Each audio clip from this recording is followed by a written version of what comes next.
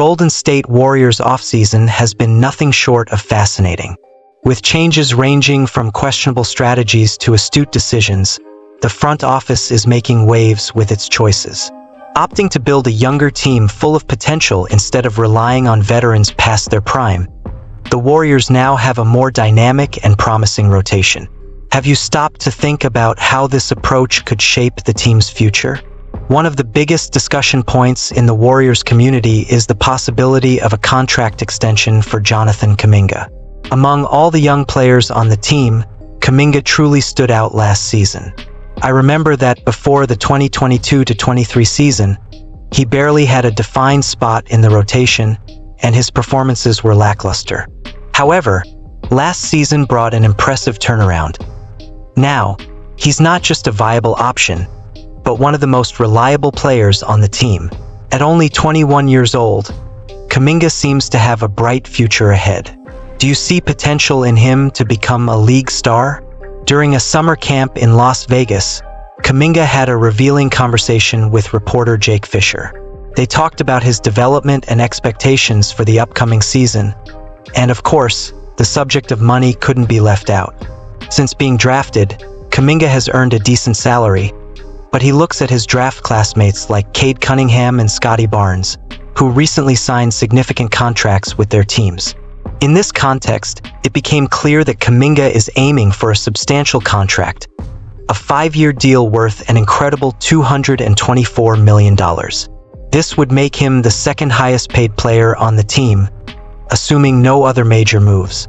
Do you think he deserves this investment? The situation is complex. Despite being a talented young player, there are still doubts about Golden State's willingness to offer such a high amount to a player who is still seeking full affirmation in the league. After some frustrating experiences with past signings like Andrew Wiggins and Jordan Poole, it's understandable that the front office is cautious.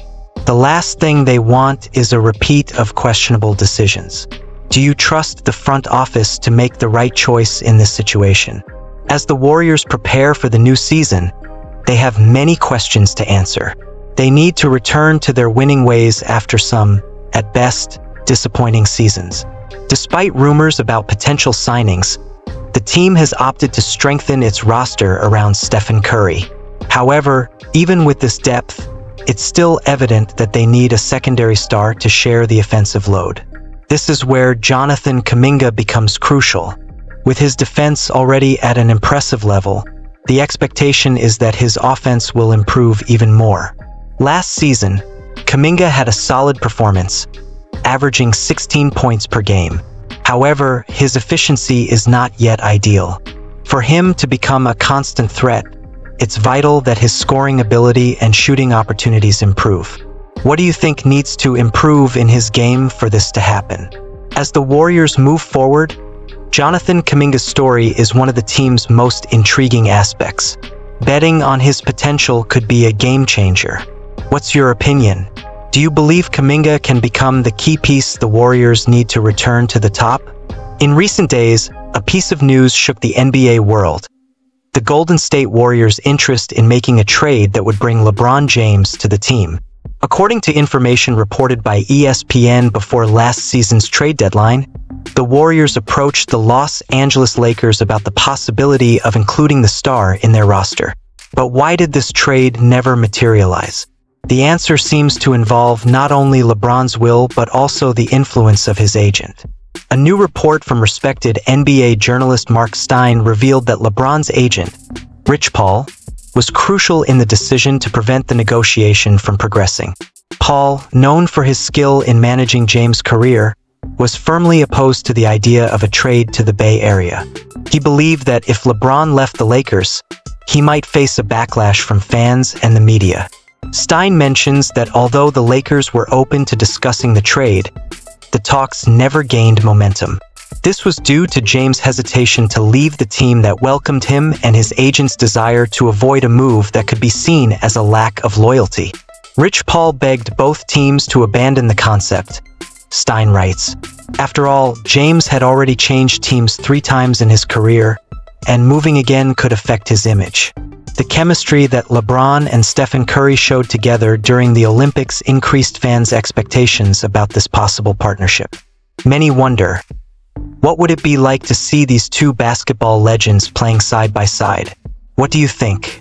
Would they be an unbeatable duo or a mix of styles that wouldn't work?